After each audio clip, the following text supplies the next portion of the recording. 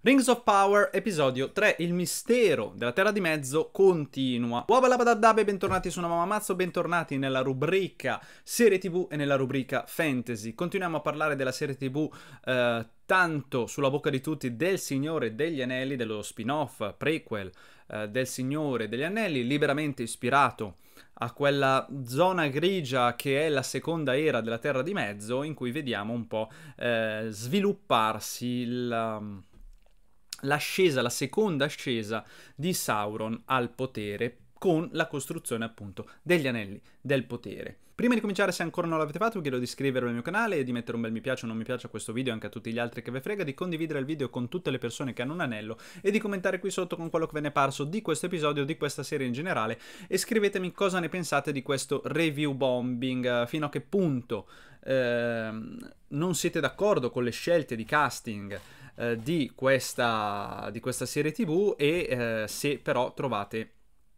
in ogni caso eh, aberrante il fatto che delle review bombing ci in un certo senso rischino di impedirci eh, la continuazione della visione di questa, mm, di, que- di questa storia. Seguitemi anche sugli altri miei social, tra cui Instagram, Twitch, dove stasera eh, faremo una live a tema fumetto insieme a Dili dell'altro fumetto, insieme a Curo del canale di Curo e a Umberto di Pelati e Fumetti, in cui ci chiacchiereremo un po' insieme su quello che abbiamo letto quest'estate. Fateci compagnia, diteci anche voi cosa avete letto quest'estate. Seguitemi anche su TikTok dove sto iniziando a fare delle mini recensioni di un minuto e dove vi dico già che eh, dove vedo eh, che il video ha poca presa in questo canale, eh, smetterò di fare le recensioni lunghe, sì anche senza virgolette sono lunghe lo so, e farò solo quelle di un minuto anche su YouTube, quindi quelle che farò su TikTok le trasferirò anche su YouTube, quantomeno in questo periodo che c'è tantissima roba da recensire, quindi da qualche parte devo tirare le briglie del mio cavallo. Anche in questo episodio ci sono tre trame differenti, a differenza magari dei primi due episodi dove erano più intrecciate, e qua vediamo distintamente prima tutta la storia di Galadriel e del suo compagno di naufragio eh, umano, o comunque delle terre del sud, scopriamo, poi vediamo la storia eh, dell'elfo che è stato rapito, eh, scopriamo anche insieme ad altri elfi dagli orchi, e infine, solo infine, vediamo la storia dei pelopiedi che francamente non ricordo perché, perché comunque la serie ci ha dato tante tante informazioni settimana scorsa, non ricordo, scrivetemelo voi perché eh, devono migrare, questa cosa mi, mi sfugge un attimino. Comunque è interessante questa differenza tra gli hobbit pelopiede e gli hobbit della terza era, che invece l'idea stessa di migrare, di togliersi da casa loro, eh, poteva essere traumatizzante. No? Il fatto stesso che Bilbo eh, compia un viaggio fuori dalla, uh, fuori dalla contea è, è è la cosa più avventurosa del mondo per un hobbit della terza era. Qua invece vediamo che è un popolo che nomade fondamentalmente eh, che migra e questo spiega anche molte delle loro abitudini, vediamo come mai sono mh, mm, più legati magari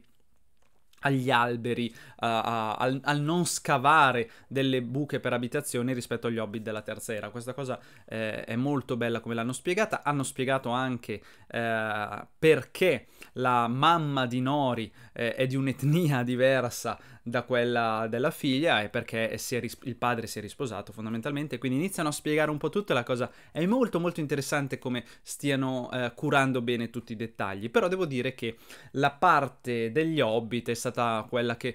forse mi è interessato meno. Eh, hanno finalmente eh, scoperto il segreto del Meteor Man e mi riferisco al fatto che era tenuto segreto da Nori, non al fatto che scappiamo chi è. Appunto non può essere Gandalf seguendo eh, la, la, storia del libro perché Gandalf arriva solo nella terza era. Ehm,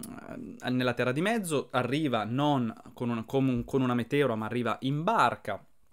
non potrebbe essere nemmeno Sauron, che era l'altro mio sospetto, perché in teoria anche Sauron dovrebbe arrivare all'inizio sempre della terza era, non può essere Tom Bombadil perché in teoria Tom Bombadil, a quanto dice lui, c'è da sempre, quindi ci dovrebbe essere da prima della prima era.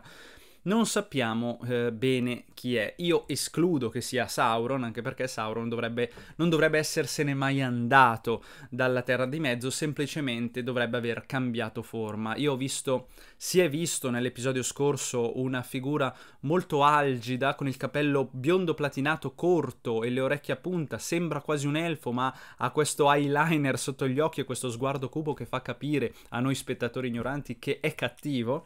eh, e presumo che quello potrebbe essere eh, la nuova incarnazione, o meglio, il nuovo aspetto di Sauron, dal momento che Sauron riesce a cambiare aspetto e dal momento che Sauron ehm, dovrebbe camuffarsi in questo periodo storico eh, nei panni di un elfo e diventare consigliere a Numenor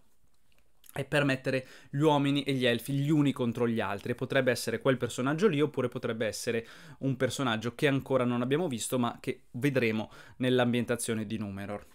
Salta fuori invece un altro nome nella trama eh, degli elfi schiavizzati dagli orchi, scopriamo anche perché sono schiavizzati proprio gli elfi eh, dagli orchi, perché innanzitutto sono forti quanto gli orchi, quindi sono più forti degli esseri umani e a differenza degli orchi riescono a resistere alla luce. Vi ricordo che questi non sono orchi potenziati da Saruman, non sono urukai, sono orchi della seconda era e il sole gli dà veramente tanto fastidio vediamo che iniziano quasi a bruciare, non sono vampiri, non vanno in cenere, ma gli dà molto fastidio al punto che si devono rintanare eh, sottoterra. Questi orchi eh, in un certo senso venerano o comunque seguono questo Adar che non si sa chi è, pare sia un personaggio inventato appositamente per la serie, ma che gli elfi insinuano potrebbe essere uno dei tanti nomi di Sauron. Io onestamente non credo eh, che sia Sauron in persona, io credo che Sauron sia ben da altre parti, potrebbe essere semplicemente un seguace eh, di Sauron, potrebbe essere, eh, non lo so, qualche... Mh, mm,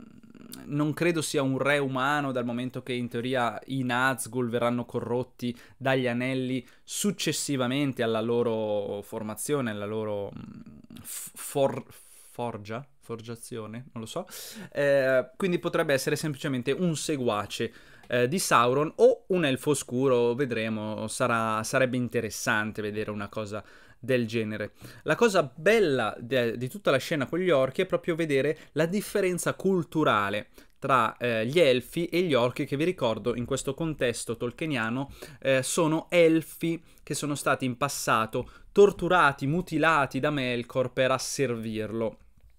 e quindi eh, sono in un certo senso elfi deviati anche loro, eh, inconsapevoli probabilmente delle proprie origini. Fatto sta che vediamo anche la, la differenza culturale nella, nella, cura delle cose vive. Vediamo come gli elfi non riescono assolutamente a sradicare un albero, non, non ne hanno la, il cuore per farlo. Sarebbe come per un, per un, essere umano, un essere umano con una coscienza, eh, uccidere un cucciolo di cagnolino eh, senza motivo, solo per poter passare invece di farsi il giro attorno. Ecco, loro hanno questo tipo di amore eh, verso l'albero perché è una cosa viva, mentre, mentre gli orchi eh, se ne sbattono altamente le balle. Mi piace vedere questa dicotomia tra, tra i due pensieri, uno dei due pensieri che è, è, quello che domina un po' anche tutto il discorso tolkieniano, specialmente nella, nella saga cinematografica di, di, Jackson, dove il nemico, eh, diciamo, dei buoni, il nemico della natura, delle cose che crescono, è la costruzione.